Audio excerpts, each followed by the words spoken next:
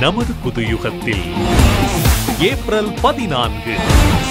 தமிழ் புத்தாண்டு சிறப்பு நிகழ்ச்சிகள். காலை ஆறு மணிக்கு.